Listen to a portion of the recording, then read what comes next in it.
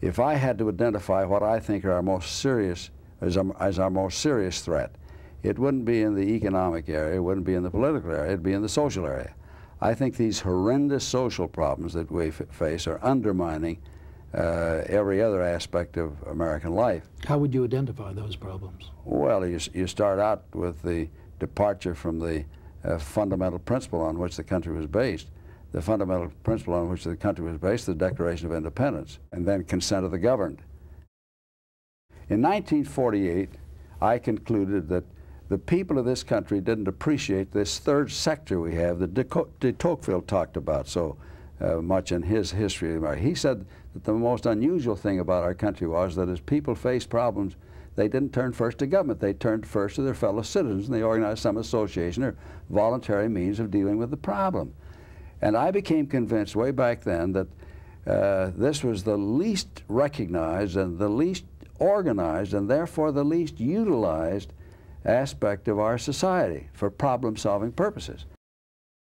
What did, we, what did we have originally when the Constitution was written? They asked Franklin, what have you given us? He said, we've given you a republic, and if you can keep it. Now, we didn't keep it. As a result of various changes that were made to change the re representative character of the structure that they created, we created a democracy. And in my opinion, we no longer have a democracy. We've got a special interest democracy, a, a, a political process that's dominated by the special interests.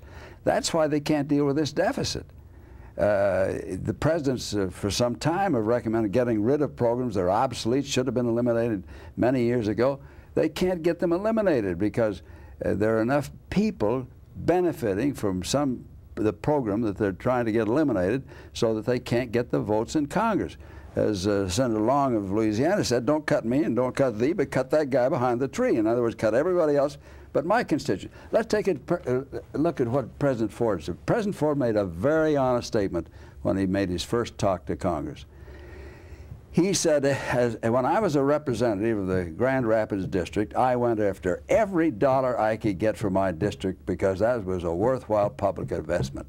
And then he turned to the Speaker of the House, a Democrat, Speaker Albert, and he said, but I opposed every dollar you went after for your district, district because that was pork barrel waste.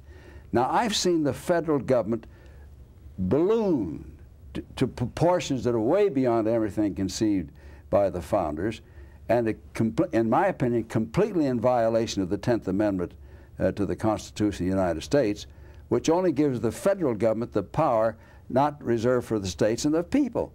Well, the states are just uh, almost uh, satellites of the federal government now.